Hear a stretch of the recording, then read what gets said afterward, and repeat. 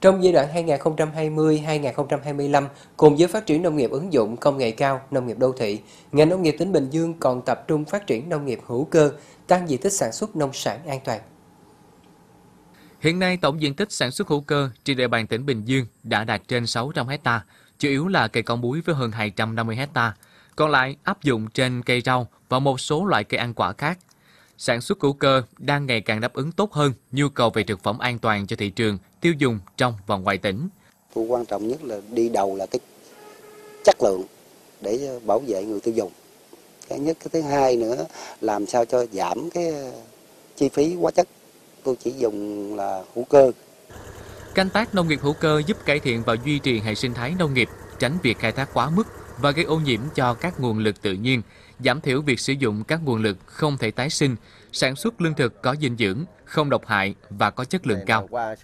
Nông nghiệp hữu cơ còn đảm bảo duy trì và gia tăng độ màu mỡ lâu dài cho đất, củng cố các chu kỳ sinh học trong trang trại, đặc biệt là các chu trình dinh dưỡng, bảo vệ cây trồng dựa trên việc phòng ngừa thay cho cứu chữa. Tưới dưới gốc tôi dùng những cái ờ, chế phẩm vi sinh hữu cơ để tạo cái cái vi sinh vật có ích cho trong đất. Nó làm cho nó cải tạo đất nó tốt. Rồi ở khung ở trên tôi cũng dùng cái chế phẩm vi sinh à, của hữu cơ đó. Rồi cái, cái các cái nguồn phân như là thủy phân cái nguồn từ cá tôm. Cái phân hữu cơ cải tạo có đất và trong đất đó nó có rất nhiều cái cái phân di lượng ngay cả trung lượng. Và cái phân trung và di lượng này nó hỗ trợ cho cây trồng nó tạo ra cái sức đề kháng đối với sâu bệnh thành ra chúng ta thấy là ít sâu bệnh thì chúng ta ít có xài thuốc hơn phát triển nền nông nghiệp bền vững thông qua các giải pháp phát triển nông nghiệp hữu cơ, nông nghiệp sinh thái, áp dụng quy trình sản xuất thân thiện môi trường, bảo vệ cảnh quan, sử dụng hợp lý tiết kiệm vật tư và tài nguyên đầu vào, không gây ảnh hưởng đến môi trường, sức khỏe con người là xu hướng phát triển tất yếu của nông nghiệp hiện nay.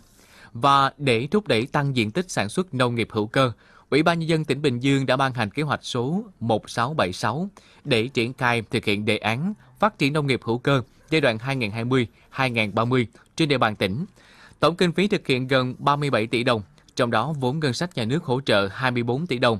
Chính sách này là cơ sở để thực hiện công tác đào tạo, chuyển giao, phát triển các mô hình điểm về nông nghiệp hữu cơ để đẩy mạnh sản xuất hữu cơ, đáp ứng tốt các yêu cầu về nông sản sạch cho tiêu dùng trong nước và hướng đến xuất khẩu.